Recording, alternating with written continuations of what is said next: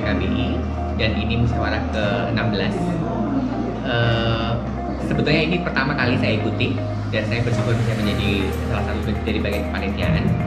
Dan musyawarah nasional PKBI ini adalah musyawarah di mana uh, dari 27 cabang provinsi di Indonesia menentukan pengurus uh, harian nasional. Dan semoga sukses. Malam ini akan ada pembukaan dan besok mulai plenonya semoga sampai hari Minggu nanti pada tanggal 28 Oktober uh, bisa berjalan dengan baik dan sesuai dengan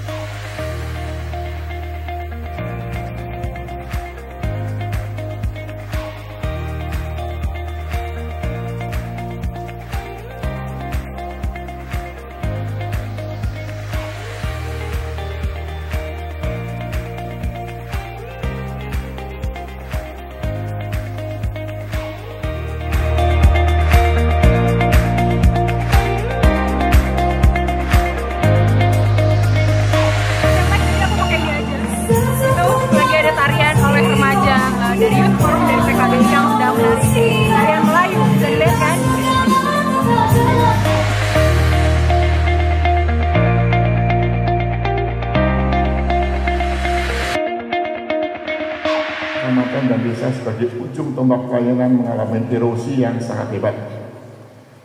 Sebagai dampak dari proses desentralisasi yang mengabaikan dinamika kependudukan.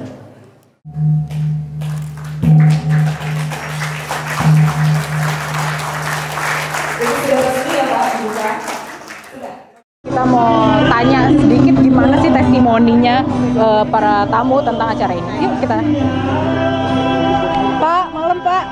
Iya, eh, jadi kita akan menanyakan Bapak tentang gimana sih hari pertama Munas ini. Ya kalau hari pertama kita belum belum memahami betul konten ya karena kan kan baru pembukaan. Ya dari pembukaan tadi kita melihat kalau melihat dari silaturahmi kekeluargaan ya enak ya gitu kan Eh, ini di rumah sendiri di wisma sendiri.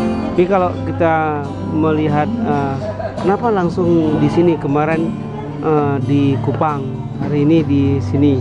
Apakah ini memang penurunan eh, kapasitas perkumpulan atau ada apa? Itu yang mungkin eh, berikutnya juga menjadi eh, evaluasi dari perjalanan program. Kalau saya hanya melihat eh, sementara kayak gitu aja. Sebenarnya yang menarik dari hari pertama ini apa sih ada tarian. ya mungkin keragaman budaya ya bahwa eh, PKBI itu berkembang tidak eh, melihat sara lah suku agama ras dan segala macam tidak tapi eh, satu nilai perjuangan memperjuangkan bagaimana persoalan eh, keluarga Indonesia menjadi keluarga yang bertanggung jawab